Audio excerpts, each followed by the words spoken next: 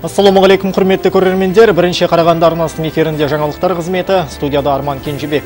Алдымен әдеттегідей аңдатпаға назар салайық. Нұрмұхамбет Әбдібеков жалпы есептің алдында қоғамдық кеңес мүшелерімен кездесті. Кездесу барысында облыстың 2016 жылғы әлеуметтік экономикалық дамуы қорытындыланып, ағымдағы жылға қойылған міндеттер мен жоспарлар талқыланды. Сәтпаев қаласында шахтаға апаратын жол күйреп жатыр. Апат жайлы бүгінгі топтамада толығырақ. Экспо 2017 көрмесі аясында қарқаралыға туристердің мол легі келеді деп күтілуде.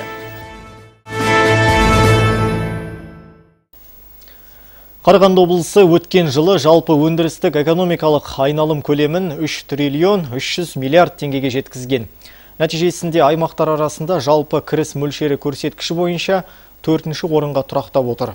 Бұл туралы аймақ басшысы қоғамдық кеңес мүшелерімен өткізген кездесу барысында мәлімдеді өткен жылдағы басқа да жетістіктер жайлы толығырақ тілші тарқатады Жылдағы дәстүр бойынша облыс басшысы Нұрмұхамед Әбдібеков жалпы халықтық есептің алдында қоғамдық кеңес мүшелерімен кездесті. Жиын барысында аймақтың 2016 жылғы әлеуметтік экономикалық дамуы қорытындыланып, ағымдағы жылға қойылған міндеттер мен жоспарлар талқыланды.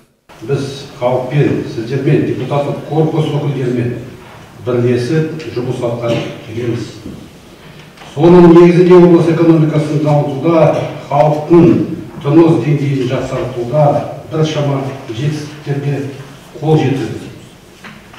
Тарих қойнауына кеткен 2016 жылдың қазақстандықтар үшін аса маңызды екені баршамызға мәлім аймақ басшысының айтуынша 2016 жыл барлық салалар үшін табысты жыл болды. Жалпы экономикалық өсім бір бүтін үш пайызға артқан. Ал жалпы өңірдегі өнімнің мөлшері үш триллион үш жүз миллиард теңгені құрап аймақтар арасында төртінші орынға шыққан. Облыс бюджеті 240 миллиард теңгеге дейін өскен. Тағы бір жағымды жаңалық ағымдағы жылы нұрлы жер бағдарламасы аясында 336 отбасы қоныс тойын тойлайды деп жоспарлануда. Облыс әкімінің жалпы есебін тыңдаған соң кеңес мүшелері өздерін толғандырып жүрген бірқатар мәселелер жайында сұрақтар қойды.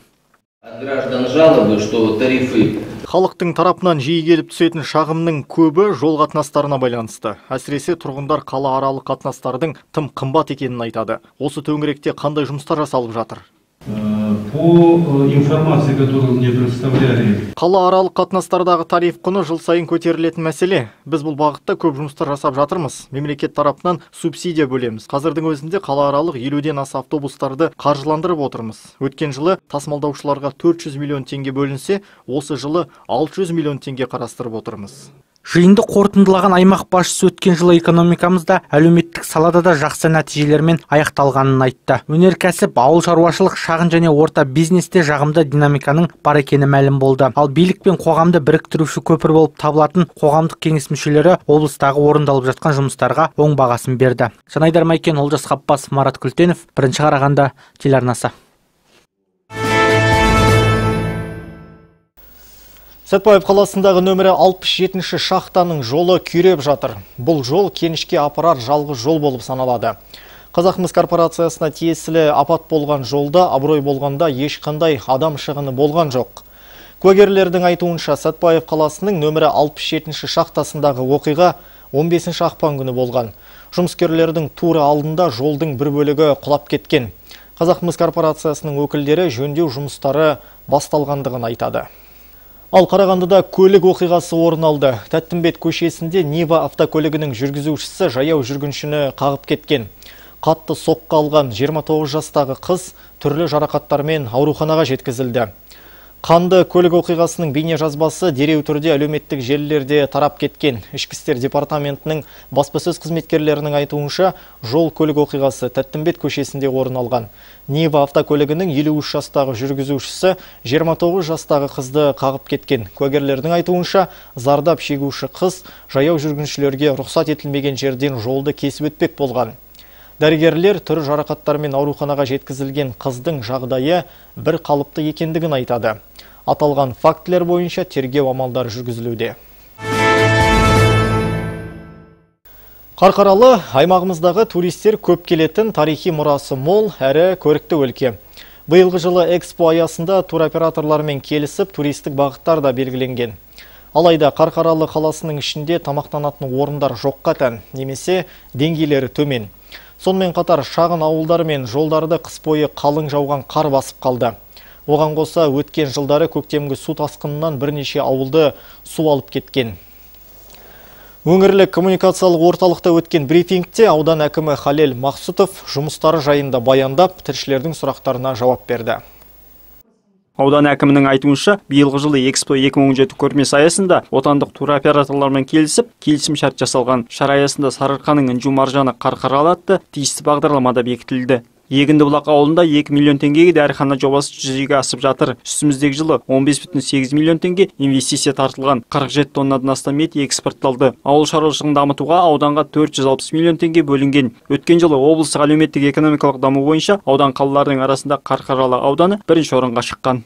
Бүгінде ауданда жел жоспары жасақталып тұр. Бүгінгі күні үш жүз он екі мың гектар жер учаскелерімізден берілді бүгінгі күні германиямен келісім шарттар жасақталып осыған құрал жабдықтар он миллион долларға қазір қондырғылар қарқаралы қаласына жеткізілді. Биылғы жылы қардың көп жауынына байланысты бүркітті және бірнеше ауылдар мен жолдарды қар басып қалды. Қарды тазалауға 64 миллион теңге бөлінген. Көктемде оныншы ауылдық елді мекенді су басу қаупі тұр. Бүгінде елді мекендер мен жолдарда қар күреліп көктемгі тасқынның алдын алу шаралары атқарылуда. Суағарлар тазаланып бөгеттер жасау қолға алынған. Сонымен қатар еліміздің іргесін нығайтуға атсалысқан қайраткер тұлға қаздауысты қазбек бидің үш жүз елу жылдық мерейтойын ауданда қаншалықты атап өтетіні жайында журналистер тілге тиек етті. Биыл қазынасы қазбек үш жүз елу бар осы атаулы дата жалпы қарқаралы ауданында егінбұлақта ол ішінде аталып ма бір күнде киіз үй көріп немесе мәдени шаралардан гөрі мынау шешендік сөздер шарасына біз өзіміздің бюджеттен қаражат бөліп мәдениет бөлімінің қасынан осындай бір сектор ашайық деп отырмыз. Неге? Себебі бабамыздың айтып кеткен сөздері ұрпақтан ұрпаққа ары қарай жалғасып қала беру керек. Ол бір күнде немесе бір жылды ғана аталып қана жасалмай сондықтан осындай іс шараларға бүкіл халық болып бүкіл облыс жұртшылығы болып жұмыстансақ ол нұр үстінен бар. Сондай ақ экспо аясында туристер келетін болса автокөлік жолдарының сапасы сын көтермейді. Тамақтану орындарының деңгейі мүлдем төмен. Оған қоса туристер тоқтайтын орындарға халықаралық деңгейде жағдай жасалу қажет деген пікірлер де айтылды. Аудан әкімі бұл шаралардың бәрі ескерілгендігін тиісті жұмыстар атқарылатынын атап өтті. Жаңабек наров жасұлан мақұлбеков марат күлтенов бірінші қарағанды телеарнасы. Қарағандыда Нұр Отан партиясы Қарағанды облыстық филиалының 26-шы кезектен тыс конференциясы өтті. Конференцияға партияның облыстық филиалының төрағасы Нұрмұхамбет Әбдібеков және саяси кеңестің бақылау тексеру комиссиясының мүшелері, аймақтық филиалдар төрағаларының бірінші орынбасарлары, сыбайлас жемқорлыққа қарсы қоғамдық кеңестің және партиялық бақылау комиссияларының төрағалары. Мәслихат депутаттары мен бастауыш партия ұйымдарының төрағалары қатысты.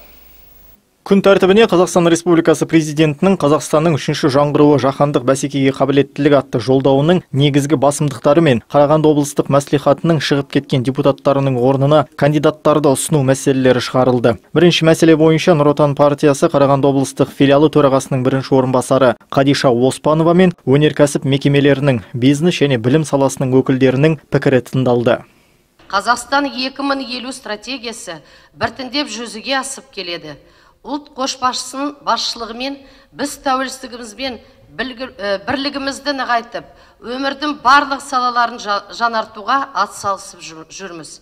Екінші мәселе бойынша 2016 жылдың наурызында облыстық мәслихаттың депутаты Руслан Түлепбаевтың өз өкілеттілігін тоқтатуға байланысты орнына қосымша сайлау өткені белгілі. Бұл бос орынға Саят Оспановтың үміткерлігі қарастырылды. Ол 1973 жылы дүниеге келген. Екі жоғары білімі бар. 2003 жылдан бастап Нұр Отан партиясының мүшесі, Қарқаралы ауданының Әдікенов атындағы Қарқаралы ауыл шаруашылық колледжінің директоры болып қызмет атқарған. Конференция барысында Саят Оспановтың кандидатурасы бір ауыздан мақұлданды.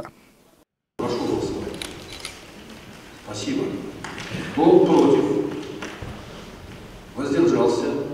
Нұр Отан партиясы Қарағанды облыстық филиалының 26-шы кезектен тыс конференциясына қатысушылар мемлекет басшысының саяси бағытына қолдау білдіріп, партия мүшелерінің барлық азаматтардың жолдауда көрсетілген міндеттерді атқаратын зор рөлін атап өтті. Арман Кенжебек, Олжас Ғапбасов, Марат Күлтенов, бірінші Қарағанды арнасы. Жаңалықтарымызды жалғастырамыз. Елбасы Нұрсұлтан Назарбаев президент құзыретінің бірнеше бөлігін үкіметке беру жөнінде реформа ұсынған болатын. Аталмыш ұсыныс халық арасында талдауға түсіп, түсіндіру жұмыстары жүргізілуде. Облысымыздағы Сарыарқа экономикалық аймағының қызметкерлері де жергілікті заңгерлермен кездесіп, аталмыш ұсыныс жайлы пікірлерін білді. Айтып өтер болсақ, елбасының президент билігін бөліп беру жөніндегі реформасы шыққан бойда 2017 жылдың 11 қаңтарында арнайы жұмыс тобы құрылған болатын. Осыған сәйкес Қарағанды аумағында да құрамында облыстық әкімдіктің өкілдері мен мәслихат депутаттары, сондай-ақ жоғарғы оқу ордаларының өкілдері кіретін заңгерлер одағы құрылды. Қазіргі кезде заңгерлерден құралған топ халықпен кездесіп, аталмыш реформа туралы ұсыныс пікірлерін тыңдап, сұрақтарына жауап беруде. Заңгерлердің айтуынша бүгінгі таңда реформа төңірегінде 40-қа жуық ұсыныс қаралған. Арнайы жұмыс тобының түсіндіру шаралары 26 ақпанға дейін жалғасатын болады. У нас президент говорит, елбасы өз сөзінде президент билігін атқарушы органдарға бөліп беремін деген болатын. Бұл дегеніміз билікті қалайтындар үшін үлкен мүмкіндік. Қазір президент құзырында 45 биліктің тармағы бар. Реформа бойынша елбасымыз оның 39-ын бөліп бермекші. Демек алдағы уақытта президент қана емес парламент сот жүйесі атқарушы органдарда ел басқару ісіне араласатын болады.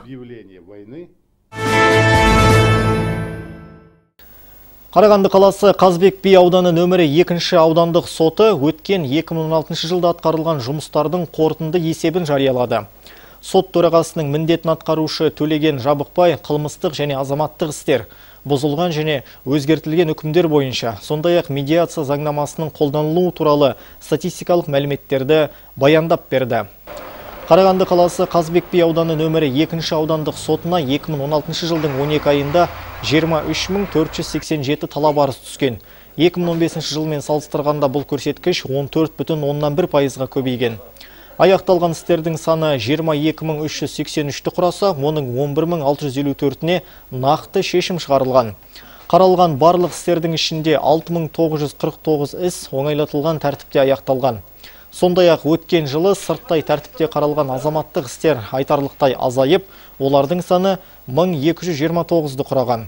Жалпы алғанда орта айлық есеппен әр судьяның іс қарау көрсеткіші 66-ға жеткен. Сонымен қатар, өткен жылы Қазбек би ауданы нөмірі 2 аудандық сотында медиация туралы заңнаманы қолдану жұмыстары жүйелі жүргізілген.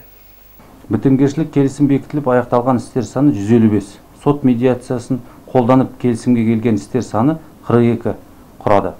Бүгінгі күні сотқа дейінгі тараптарды татуластыру медиация туралы заңнамасын қолдану шаралары шараларына үлкен зейін аударылады. Сотқа қатысушы тараптарға мәліметтер орналастырған. Сот ғимаратында кәсіби емес медиаторлар кезекшілігі ұйымдастырылған. Қытайдан Әсет Найманбайұлының домбырасы табылды. Қазақтың суырып салма ақыны әнші композиторға тиесілі болған жәдігер жайында Болашақ Академиясының қазақ тілі және әдебиеті кафедрасының доценті Азат Мақсұтбекұлы жария етті. Бұйыл Әсет Найманбайұлының туғанына 150 жыл. Мерейтойға орай сазгердің домбырасын елге қайтарса, қазақ халқы үшін үлкен қуаныш болар еді.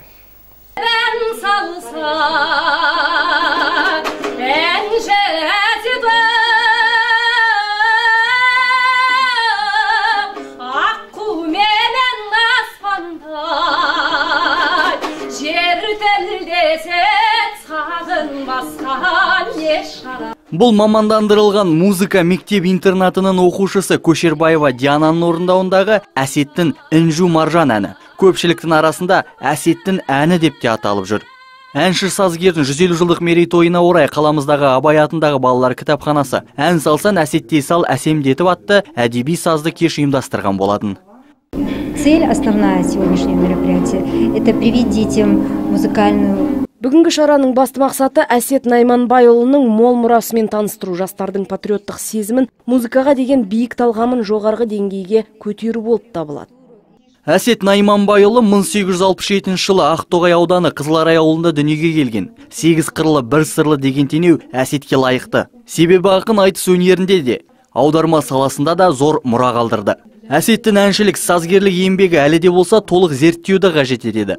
1988 жылы шыққан әсет жинағына 29 ән мәтіні 71 өлеңі 10 айтыс қағысы 8 қиса дастаны енгізілген. Әсет найманбайұлы 1922 жылы қытайдың құлжа қаласында дүниеден озды. Көрші мемлекетке жұмыс сапарымен барып қайтқан болашақ академиясының қазақ тілі және әдебиет кафедрасының доценті азат мақсұтбекұлы жақсы жаңалық жеткізді. Атап айтса аспан асты елінен әсет найманбайұлының домбырасы табылған.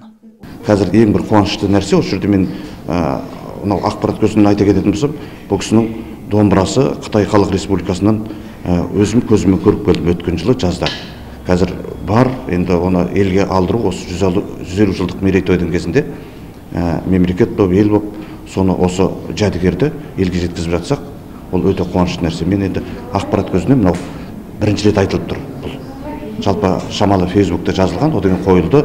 Ол жақтағы өтініш бойынша жалпы көп жарнамаламаңыздар шығару шығаруымыз қиын болады деген. Бірақ енді бұндай қуанышты жағдайда жергілікті халықтың біліп отырғаны дұрыс. Қазақ елінің әдебиеті мен өнерінің дамуына өлшеусіз үлес қосып үлкен еңбек қалдырған әсет найманбайұлына қатысты тың деректер мен жәдігердің табылып жатқандығы қуанышты әрине. Ендігі жерде еліміздегі мұражайлардың бірі әсеттің домбырасымен толығып жатса нұр үстіне нұр болар еді. Алмас мұсабеков айжарқын сейсен исламбек оспан марат күлтенов бірінші қарағанды телеарнасы Қарағандылық көрермендер енді қойылымды залдан емес, сахнадан тамашалайтын болады. Станиславский атындағы облыстық драмалық театр жаңа шығармашылық құраммен қоғамдағы маңызды мәселелерді қозғайтын пьесаны сахнаға алып шықты.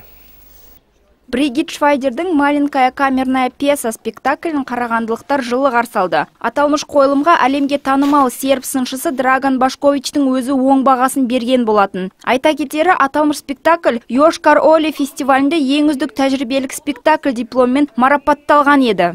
Я хотела э, в Казахстане, в любимой Караганде сделать жалпы қазақстанда өзіміздің сүйікті қарағандымызда өзім не үйрендім соны көрерменге жеткізгім келдім ең бастысы өте жақсы қызықты камерный пьеса қою басты мақсатым болды. көрермен өзін сахнада отырып аквариумда отырғандай сезінеді. әртістерді балықтар десек көрермен тығыз қатынас орнатуға мүмкіндік алды. тіпті көрермен өзін әртіс сезінеді десе болады. өйткені ол сахнаның төрінде отыр. мы находимся Жалпы қойылымда шығармашылық жағынан ешқандай жаңа бағыт болмады. Бірақ халыққа жаңаша бағыт ұсынған қойылымда көрермен мен сахна арасында тығыз байланыс орнады. Бар жоғы 90 адам ғана көре алатын пьесада екі кейіпкер бар. Бірі үй тазалаушысы болса, бірі ханымның рөлін сомдады. Тура халықтың алдында сахналатын болғандықтан спектакльде халық артистердің эмоциясын өз бойынан өткізіп сезіне алады. Да нет, прошу вас, прошу вас, возьмите, возьмите, возьмите. Это будет... Пристань, что вы ко мерите? Что вы сравнивать Көрермен сахнада отырғандықтан артистерді қолымен ұстай алады. Әр таптағы әйелдер арасындағы бір-бірімен қарым-қатынасқа өз бағасын бере де отырды.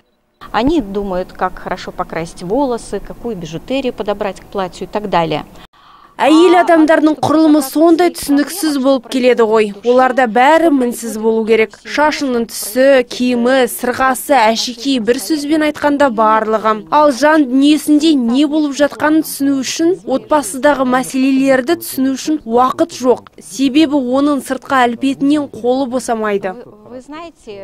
Александра Большакованың бұл қойылымы жаңа форматты нұсқасы. Аталмыш қойылымда әдетіндегідей сахна пердесі ашылмады, себебі көрермен тура сахнаның өзінде отырды. Көрерменнің артында бос зал қаңырап тұрды. Олардың алдындағы екі артист бір-бірімен қылмыстық диалог орнатты. Қойылымда әжетханадағы іс-әрекеттер де анық көрсетілді. Айта кетері бұл спектакль үшін театр труппасы Серп елінің Тополо қаласына арнайы шақыртылған екен. Аяжан Ералы қызы Исламбек Оспан, Марат Күлтенов, бірінші Қарағанды телеарнасы. Арнамызға келіп түскен айшықты ақпараттардың легі міне осындай болды. Қандай да қызықты жаңалықтарыңызбен бөліскілеріңіз келсе, редакциямыздың 42-06-49 байланыс телефонына хабарласуға болады. Жаңалықтарымыздың толық нұсқасын арнамыздың сайтынан көре аласыздар. Назар қойып тыңдағандарыңызға рахмет. Эфирде жағымды жаңалықтармен жүздескенше аман сау болыңыздар.